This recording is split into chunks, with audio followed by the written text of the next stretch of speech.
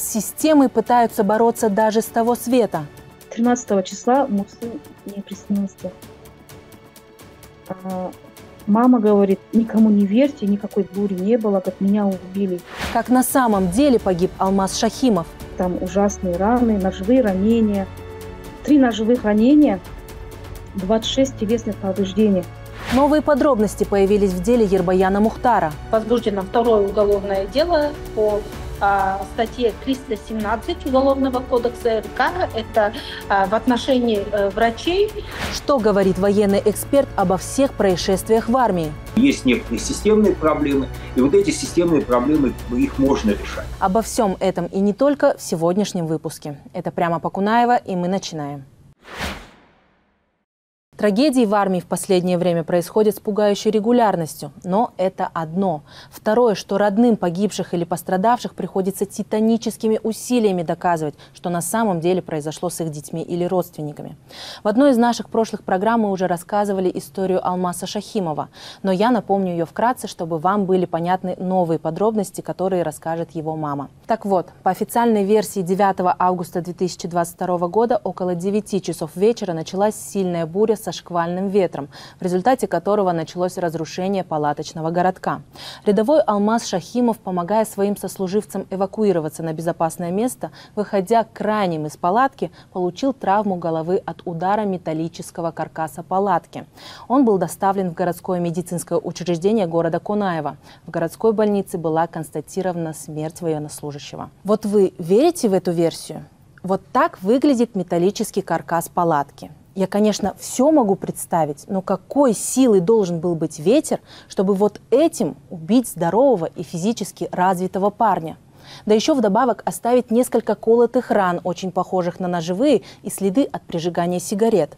А еще палатка его связывала за обе руки, судя по следам. Так получается?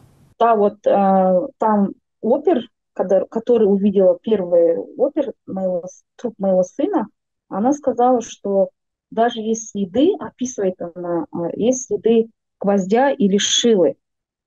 А, там а, первый эксперт описывает, что у него три ножевых ранения, но она описывает, что у него и на руке тоже были порезы ножевых ранений. Но почему-то эксперт это не пишет, он пишет, что это кровопотек. Но я вам попозже отправлю э, все вот эти э, видео, вот эти фото. Даже десятилетний ребенок скажет, что это его избили и что это убийство.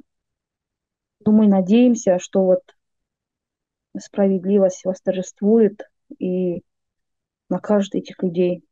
Уже два года мать солдата приводит десятки неопровержимых доказательств того, что ее сын погиб не во время бури. В нашем распоряжении есть фотографии, которые явно подтверждают факт насильственной смерти. Но из этических соображений мы не можем показать их в эфире. Они явно доказывают, что виновна в его смерти совсем не стихия. Дело несколько раз закрывали, но убитая горем мать добивалась его возбуждения вновь. Как вы помните, а, я уже два года говорю, что это не одежда моего сына, его переодели. Его переодели два раза. Когда убивали, он был в другой форме, его, видимо, уничтожили, а когда привезли в больницу, ему одели другую форму 48 размера. Мой сын одевает 54 размера. А, эта одежда была вся в крови. И, ну, это тоже, но эту одежду тоже они уничтожили, потому что в экспертизе одежде вообще никак, э, нету крови. Ни на портянках, ни на футболке. Если вы видели фотографии, там ужасные раны, ножевые ранения. Три ножевых ранения, 26 телесных повреждений. Даже вот когда дома, если э, повредишь там, ножом или на терке руки, столько крови, а там у него глубокие, очень глубокие раны, и не может быть, чтобы на брюках, на футболке не было крови. Они даже и эту одежду уничтожили. Ну вот сейчас, в э, данный момент, они все вот это выявляют, выясняют. Э, как я раньше говорила, 55-74 тоже Национальной гвардии, где находился полигон. Это видео они уничтожили. Потому что, э, когда я ознакомилась с первой экспертизой, я попросила следователя Тагаева, чтобы он показал мне это видео, э, видеонаблюдение 5574. Я ему сказала, я поверю, Если вы мне покажете это видео, что я просто его взяла на плод, если честно сказать, чтобы он показал. Ну, явно видно было, что моего сына убили, пытали, пытками убивали 7-8 э, часов. Потому что никто после обеда 9 числа моего сына никто не видел. Утром он был на стрельбище, после обеда его никто не видел. И он сказал, ладно, вы завтра придете, я вам покажу это видеонаблюдение, видеокамеру. И он сбежал. Я утром, э, я была с адвокатом, мы приехали э, в ИСУ, города Алматы. Он потом написал, что он приболел. Тот же день он не хотел показывать нам это видео, что у него дела, завтра посмотрите. Так и вот это все осталось. Я постоя... Потом он, э, его перевели, приехал другой уже следователь. Я им тоже требовала э, показать мне это видеонаблюдение. Они меня обманули, сказали, вот диск есть, жесткий диск, э, мы ему покажем. Там крыши слетали, там было невозможно даже выходить на улицу, там и пострадали тоже 55-74 солдаты, не только э, 55-71, были тоже там ну, по их рассказам было сильный ураган. Но э, я, знаете, я 10 дней жила в, в Алмате, я требовала, э, прокуратуру ездила в Алматинской области, Ахбергену Айдосу, говорю, покажите мне это видеонаблюдение. Но они сказали, вот 8 часов грузится, вот так 10 дней прошло, и они мне так это видео не показали. А концовки вышло, они мне сказали, что это видео потерялось. Они сказали, что одежда моего сына потерялась, и видеонаблюдение 55-74 потерялось. Почему потерялось? Потому что никакой бури там не было. И когда э, они же на улице его не будут убивать, они 55-74, они там убивали. Потому что я была там, а там есть офицерский клуб, я туда заходила, там очень много дверей было закрыто. Я попросила, чтобы открыли эту дверь. Я говорю, я говорю, я чувствую, что его, говорю, здесь убивали. Подозрения матери подтвердили и данные синоптиков, к которым обратилась Индира. Они сообщили, что в тот день в этом регионе бурь не было, а максимальная скорость ветра достигала всего 14 метров в секунду. Усомниться в правдивости слов военных и начать самостоятельное расследование Индиру заставил сверхъестественный случай. Видите, когда э, вот мой же сын 9 августа же умер же, э, да, 11 э, числа мы похоронили его, 13 числа мой сын мне приснился. А, мама говорит, никому не верьте, никакой бури не было, как меня убили. Вот так. Я, знаете, я, я в халате, платке, я в шлепках, я выехала в Алмату. В чем я была? Я вот не могла спать, успокоительно выпила и вот на полчаса где-то, наверное, вот так глаза сомкнула. Я взяла, мама говорит, я с собой вместе пойду, я вот деньги, удостоверение взяла, и мы полетели в Алмату. 14 числа вечером мы были уже в Алмате. Изначально матери погибшего солдата говорили, что пострадавших много и большинство даже госпитализировали, но и это оказалось неправдой. Когда они приехали, моего сына привезли, на похоронах было почти 500 человек. Они говорили, что медсестра, которая первую помощь оказывала моему сыну, она в гипсе, еще 15 э, солдатов пострадали, они все лежат в больнице. Не только ваш сын говорит, пострадал, и они тоже. И, и мне было интересно увидеть их. Знаете, потому что как вот сын, он начал меня обнимать, плакать, я начала плакать, я говорю, тебя же уби... Э, ты же умер, вот так говорю, говорит, мама, говорит, не верьте никому, не верьте, меня, говорит, убили, вот так. И все, я вообще дар речи потеряла, я вот уехала, же говорю, вот. И что вы думаете, мы приехали в Алмату, э, к главврачу мы зашли на его больнице, он сказал, никто нам не обращался, никому, говорит, мы гипс не ставили, и никакие солдаты, говорит, нам не обращались, говорит. Вашего сына привезли трупными пятнами окоченением. Я вот у экспертов спрашиваю, а через сколько времени будет окоченение? Они мне говорят, через 3-4 часа. Крупные пятна тоже может выйти через 3-4 часа. Ну, как они вот 9, э, 25 э, его привезли, 9.35 констатировали смерть, и он не мог за 10 минут окоченеть и вылезти трупные пятна. Поэтому вот мы же, э, вот эксперты же, вот когда изгумацию делали, они же описывают, что до, до 7 часов он уже был мертв, понимаете? Даже на эти экспертизы они глаза закрывают. Были обнаружены и еще множество нестыковок и расхождений с первоначальной версией воинской части. Потому что у него раны, синяки на теле, они очень разного цвета. Даже наш первый эксперт, он говорил, что его начали восьмого бить. Его, э, даже вот, как они говорят, да, через 7 минут мы вашего сына нашли, у него уже был глаз опухший и синяк. Я вот экспертам ставлю вопросы, вот у нас идет сейчас вопросы, да, я говорю, как может через 7 минут э, стать фингалом, да, вот, посинеть? Нет, говорит, такого не может быть. Синяк может выйти через пару часов. Это даже подтверждается вот эксгумацией, что он умер до 9 вечера.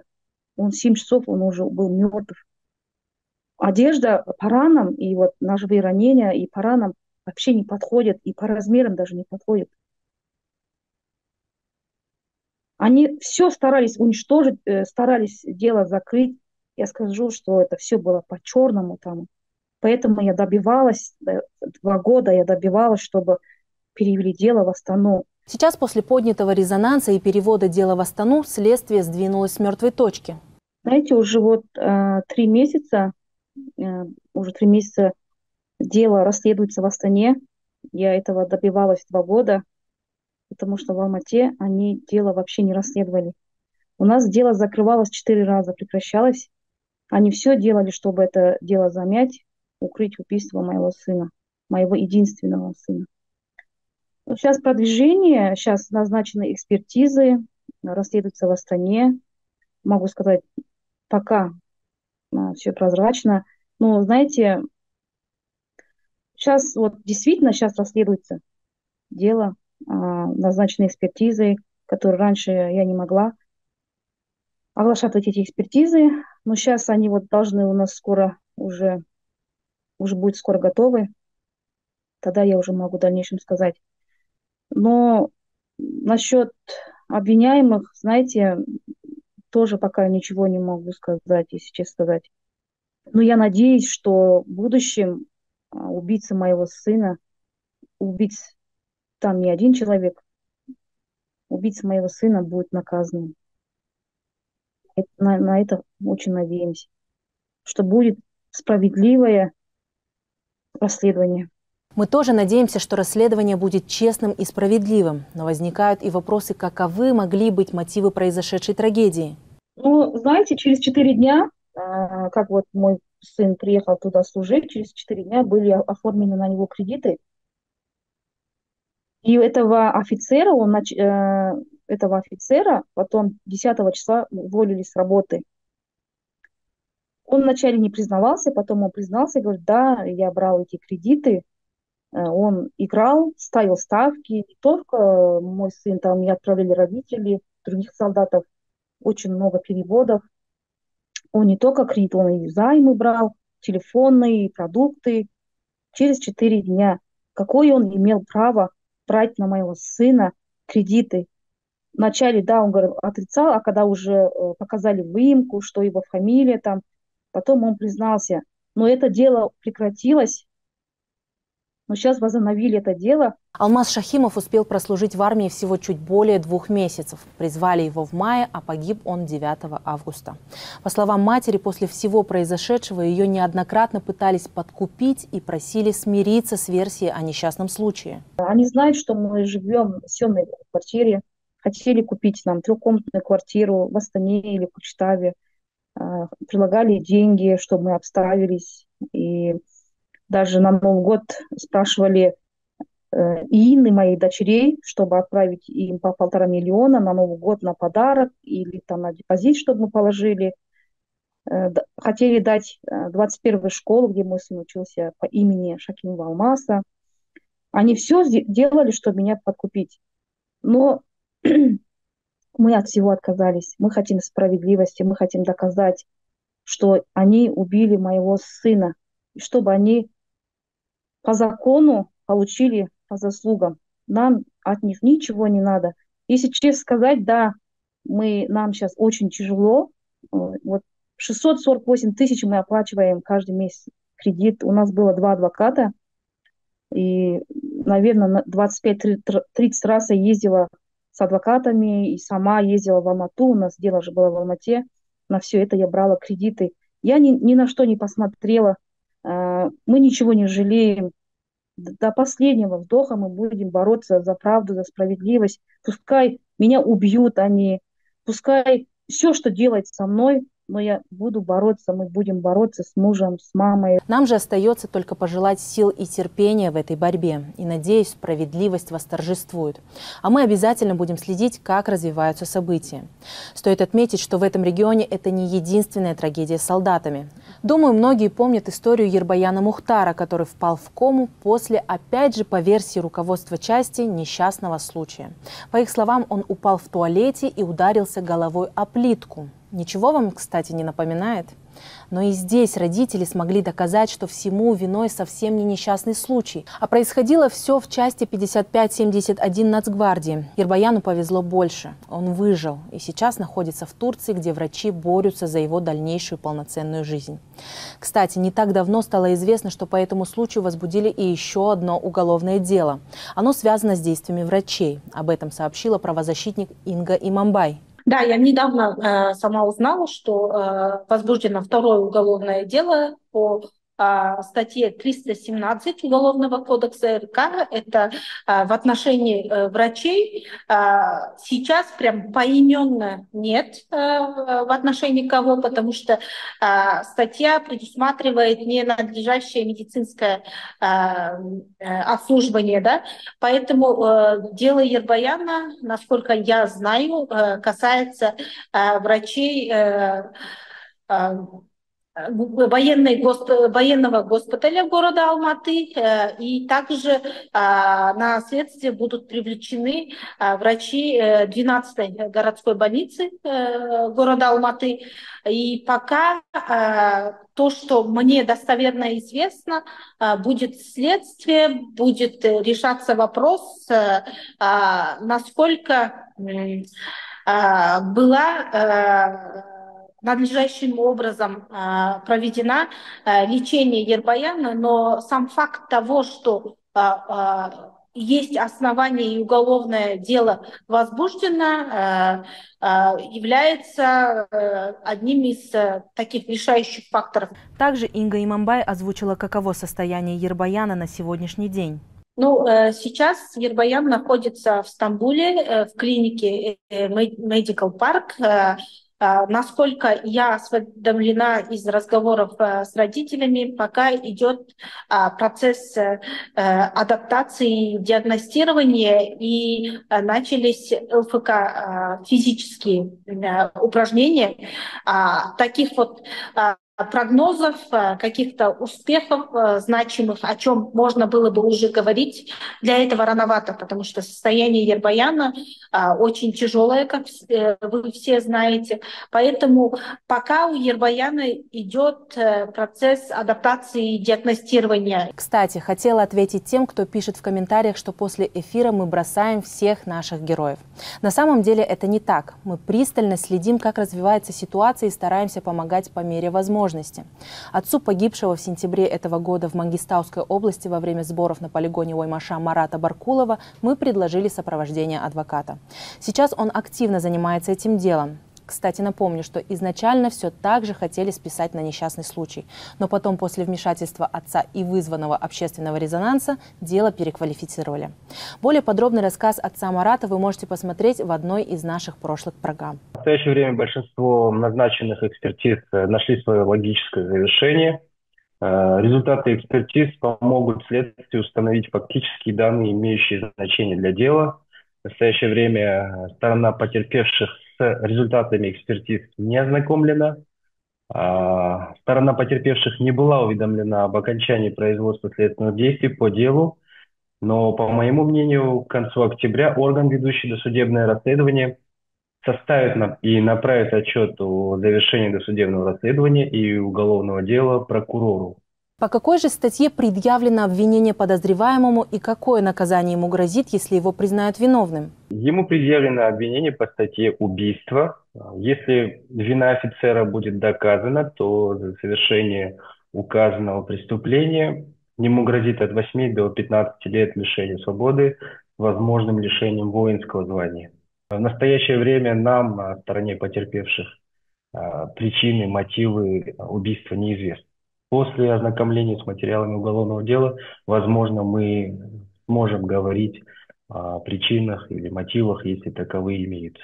Спросила я и о том, когда может завершиться судебный процесс и будет вынесен приговор. Все зависит от ходатайств, которые будут э, приноситься сторонами, стороной подозреваемых, стороной потерпевших, то есть нашей стороной. Если э, разрешение этих ходатайств не будут требовать дополнительного времени, то э, до конца текущего года, я думаю, дело найдет свое логическое завершение, как минимум в суде первой инстанции. Эта неделя тоже не обошлась без пугающих новостей из армии. Стало известно, что в области ЖИТСУ массово госпитализировали новобранцев. Как выяснилось позже, речь шла о воинской части 18404 в Талдыкургане. Пока в Минобороны настаивают, что все они попали в больницу из-за простуды. У одного бойца диагностирована пневмония. Ну, радует хотя бы то, что их лечат в медицинском учреждении, в отличие от сына одного из наших героев прошлых программ, болезнь которого долго игнорировали, пока не стало слишком поздно. Обратилась я и к военному эксперту, чтобы понять, с чем связаны все эти случаи в армии и что со всем этим делать. Здесь а, опять есть первый момент, что каждый случай индивидуален, и у нас нет, к сожалению, универсального решения. И второй момент, конечно, как я уже говорил, есть некоторые системные проблемы, и вот эти системные проблемы, их можно решать, да, они понятны. Да?